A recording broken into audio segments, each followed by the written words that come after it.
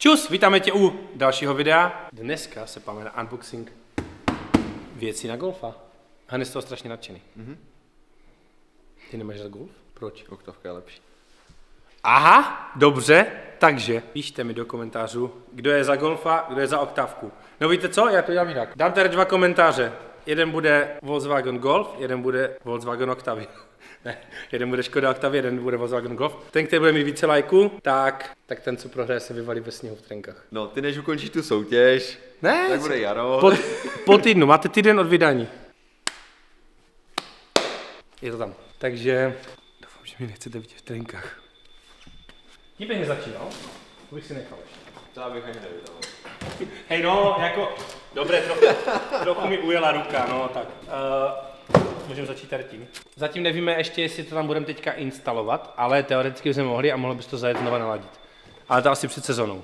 Kluci na Race Shopu za prvé začali už teďka dělat svoje intercoolery a chladiče, ale ještě než začali dělat. A teasing, ještě to nikdo neví pořádně, ale Races bude mít vlastní podvozky. Bude mít na Golfy, na Civicy, na 36. My to budeme mít na testování, jsem na to mega zvědavý, ale mělo by to být dobré. Takže vrátíme se zpátky teďka tady. Anďo, pojď nám říct, co to je. To je intercooler kit na Golf 4. To znamená, 1.8T. Mělo by to být plug and play, zatím to nevíme. Je to intercooler kit, který koupíte celý v sadě. Jsou tam všechny kolínka, jsou tam všechny trubky, už přichystané tak, jak by měly být. A takže... spony, všetko. jsou tady spony, přesně tak, hadice, hadice, všecko, takže by to mělo být opravdu plug and play. Tohle věc, kterou tam budeme dávat nejspíš až před sezonou, protože by se to muselo přeladit. A mě, mě baví, jak to jede teďka, takže se mi do toho nechce vrtat zatím. Ale objednali jsme to, protože to tam chceme dát. To je... To je chladíš na palivo? Ne, to je chladič na Aha. To je také malinké. To je na, te, na to, na topení. Přece, když jsme řešili 46, tak taky Erik říkal, že tam to nejmenší srandu. Aby to nemělo obrovskou turbodíru. Ty máte spoustu pěkných kousů. Já vím, ale tohle je můj miláček. A Je tady je! To je taky můj miláček. Nádhera. Nádhera. A Flag je v pěkném stavu, to se sám můžete podívat. Fakt je to jak nové. Můžu? Můžu? No, opatrně, ale fakt jako, fakt je to moje láska. Aha. No ale počkat. Vy jste jen zjevil, že to je manuál a to je automat. Tak to si budeš ještě mladý vybírat? Pokud se chceš vyhnout takovým situacím, tak na Car Vertical si můžeš ověřit, jestli bylo auto bourané, jestli bylo kradené, jestli nebylo náhodou z autopůjčovny, a nebo třeba využívané jako taxík. Taky si můžeš ověřit skutečný nájezd kilometrů, anebo další užitečné informace. V popisku tohohle videa najdeš link se slevou na Car Vertical a můžeš si ověřit své budoucí auto i ty za pár minut. Já chci tohle, já chci tohle ukázat. To tam musíme dát. Tohle je, kámo, tohle je největší banger věc, na kterou se těším a že tam nainstaluji. Jinak potřeba bych, třeba bych tapce, kdyby někdo měl na golfička, protože ty moje jsou v takovém stavu. Ale tohle, dámy a pánové, je start tlačítko. Bojím se do golfa, když přijde rozsypaný čaj. Start tlačítko pěkně na palubovku, z vrchu, svech. Co? Z vrchu na palubovku. Hele, už. Napište nám, kde má být start tlačítko umístěné. Jo, my ho tam dáme. Nic je tohle? Se jenom podívám, jo?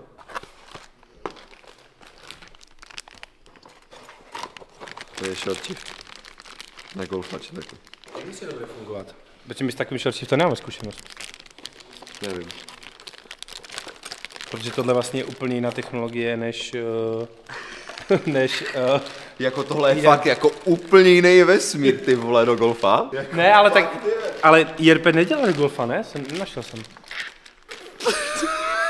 Ne, po- jak, já prostě nechci hej, hejter, ale prostě já... Prostě Han měl oktávku, řekněme si to na rovinu. Ne, ale počkej, ale jakože tohle bylo takový zlatý střed, co, co tam byl na Shopu. Není to jak extrémně drahé, uvidíme, jak to bude funkční, jak to bude krátké, nebo jestli to bude prostě stejně dlouhé jako klasické řezení. Protože máme německé auto, tak tam potřebujeme italské klaxony. Ne, tohle jsou Že Italové hodně řvou, tak tyhle budou fakt jako dobrý. echt. Ne, tohle jsou klaxony místo originálu, je tam takový detail, detail estetický doplněk, uvidíme, jak to bude, jak to bude znít. Ale viděl jsem to na Shopu a říkal jsem si, že to chci do golfa. Prostě pěkně vyjímat. Bude to fajn, ten motorák baretný, když tam je? Držák na budíky na sloupek. To je samozřejmě v golfu nemůže chybět. A objednali jsme tam nové budíky i rovnou. Races. Uh, je to náhrada vlastně za ty co tam jsou. Uh, já jsem zvědavý, jestli ten budík je vůbec dobře zapojený na ten tlak turba, protože tam je tak pospojovaný. Spíš, že si ukazuje dobře. No, každopádně Races, budíky, úplně takový zlatý základní střed, který si můžete koupit. Samozřejmě Ježa to říkal, i kluci to říkali, takovéhle klasické budíky neukazují vždycky úplně přesně, je to spíš pro kontrolu, to znamená, Ne, neukáže vám pravděpodobně, jako nevíme to jistě, ale neukáže vám úplně jako přesně, ale když nastane nějaký problém, tak prostě uvidíte, že tam došlo k nějakému poklesu, tak aspoň víte, že se něco děje špatně. To, to jste měl nechat mě. tak jo. Tažné oko to samozřejmě nemůže chybět na žádném golfu. A hlavně, tady ten šroubek, tak ten dejte pryč, dejte si tam eskapásku. To je to gro toho golfa, že tam musíte to mít na té eskapásce, aby to fungovalo jako na 100%. Nech to. Jako já, vím, že, já, vím, já, jsem, já vím, že lítají takové ty memečka, že to tak lidi dělají, ale dostali jsme ho k nákupu. Já jsem si na schvál vzal tohle. Počkej, ty se směješ, ale to má, to má příběh, kámo. Dobře, Počkej, to jako má příběh, jo? Protože tuhle řadičku, kam? A teď poslouchej. Tuhle řadičku, měla tady akorát žlutý nápis, jsem měl ve svém starém golfu. Našetřil jsem si na ní penízky a koupil jsem si ji tehda z nějakého shopu, ani nevím kde. A viděl jsem, že na shopu mají, tak jsem si ji koupil zpátky. Ona je ale příjemná, šahni. No, ale to, víš, takhle jako na omak. Jej, ty si to děláš srandu. A to není sranda, já jsem to, však já to myslím vážně, ale to, co říkám. Já jsem to vzal z recese, protože jsem ji tam měl, takže jsem ji chtěl. A jsem mega rád, že ji Momo pořadila. To je cool. Tak, to se týká krabice úplně všechno. Máme tu ještě něco malého, nemáme, že? Počkej, tady je co? Jo, to je taky ty kola. Začnu světlama, to jsou předky, že? Tak dáme předky. Dobré, jsem zvědav, co mi řeknete. Všichni mě za to zdysili. Uh, já, počkej, počkej. Já to musím trochu obhájit. No, tak to zkus, ale... Všichni mě trochu zdysili, i Filip z Race Shopu mě zdysil. Já nevím, jako možná ty světla tam nedám. Kdyby je tam nedal, tak budou na prodej. Ale řekněte mi schválně do komentáře, ale jako vážně, jestli se vám líbí ty světla. Počkej, tak nebuď zase úplně to. Já si myslím, že ty světla by měly zpátky do krabice zůstat v té temnotě, kde odkud vznikly.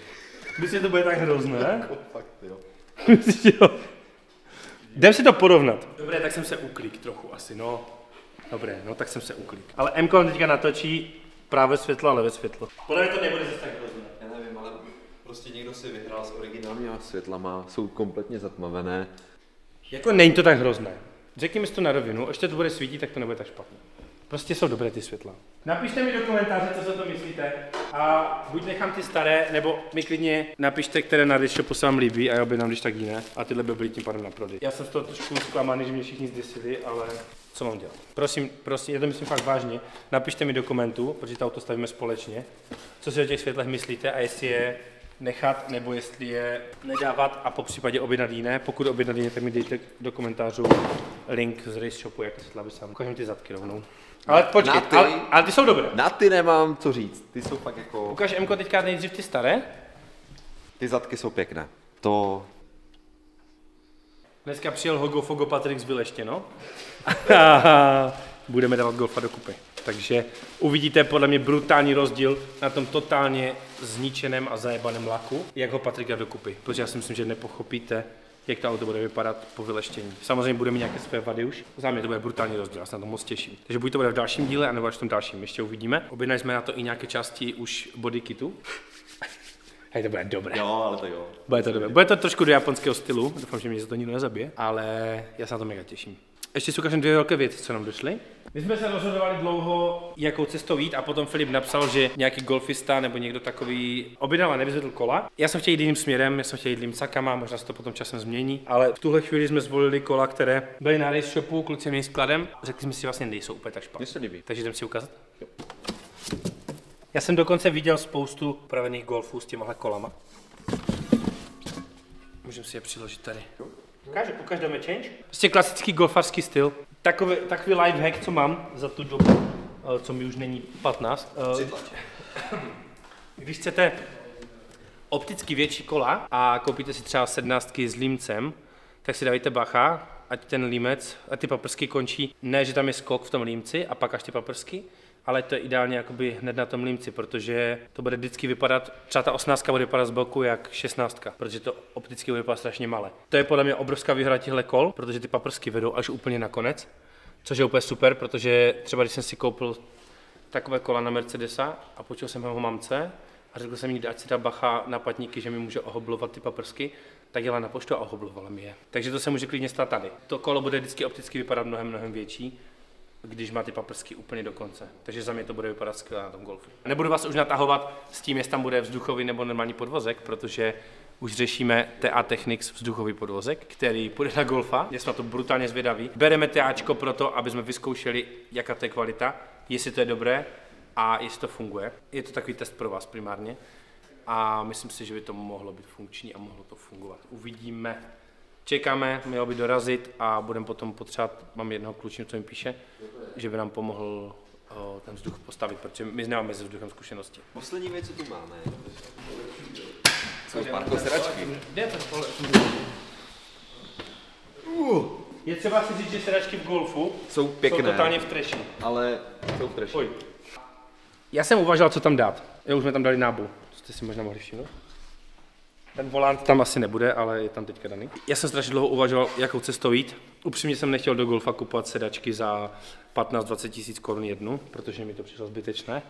A na Deshopu je i sekce sklopných sedaček, co jsou de facto jako civilní sedačky. Oslovil mě tyhle Sparko, protože mají takový jednoduchý design a hlavně mají tu červenou linku na sobě, která se bude hodit k interiéru, protože vlastně ten zadek je modrý. Vlastně v golfíku jsou takovéhle červené prošití, takže jsem chtěl, ať to vypadá úplně stejně, ten předek i ten zadek. Jinak to jsou ty tapce, co potřebuju, to je s tím čer, černým, s tou klasickou černou látkou a madlami tu. Takže kdybyste prosím, prosím někdo měli, tak uh, hned beru. Takže sedačky budeme, budeme měnit. Šli jsme variantou štelovatelných, ne skořepin, protože mít skořepinu v golfu na dlouhé cesty a tak je podle mě totální dojeb. Je to takové jako, takže zkus.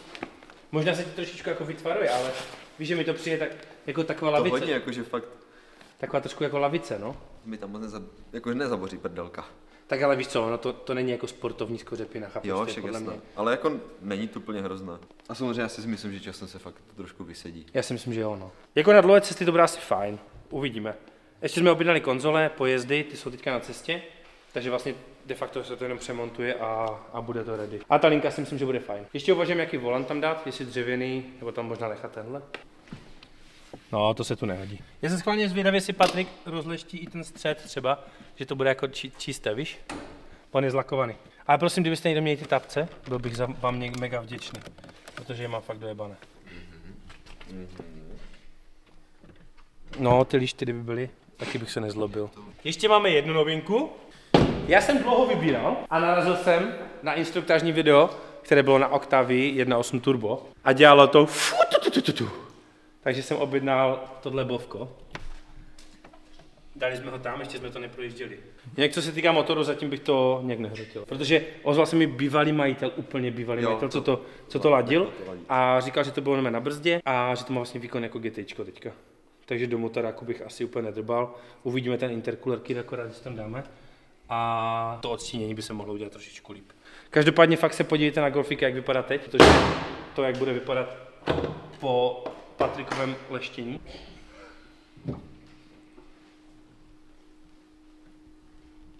To přes boost nestartoval, že? Ne. Jdeme to Ty jsi nechal na, na to. Tak já nevím, jak to vypínat, ty světla. Ne, ne, my zkusíme, nám přišel teďka takový mini booster z A Profi. Aha, to už kabely už tu nejsou, ty bílé? No, na to jsem teď, Aha, jde to nabíjet z auta, které musíte mít ale nastartované samozřejmě. Je to jako nabíječka na iPhone, uh, je to jako power, vlastně powerbanka na všechny kabely, je tady uh, světlo, radio a GPS. ne, je tam tohle, je tam tohle světlo, uh, USB nabíjení, takže powerbanka a stá, jde s tím jako nastartovat auto, takže si to teďka ukážeme, že to je taková malá kapesní věc, ale ty jsi říkal, že si tak jeden, dva starty, že da? Uvidíme, teď je to na 100% nabité, uvidíme, na kolik se to vybije, jak nastartuješ.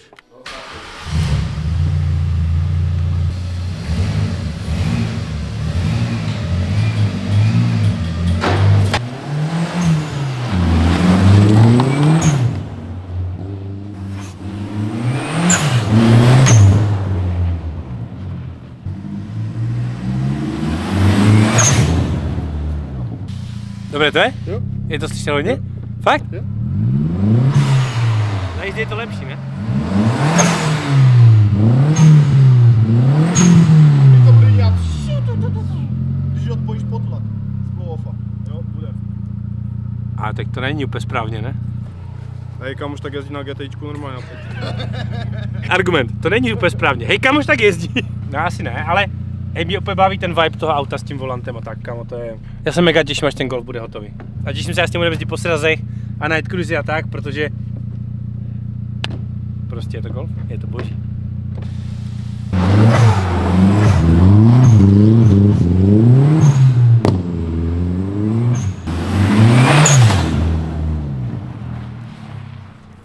A úplně ten flashback, jak jsem kamo tady třeba v 18, v 19 jezdil s tím golfem a tahal jsem ten rukav a teď ho tady tahám znova. Když tohle video bude mít 4000 lajků, když bude mít tohle video 4000 lajků, natočím speciál drifty s golfem na sněhu. Yes. tohle je úplně všecko. A vidíme se u dalšího videa. Mějte se hezky a zatím čau.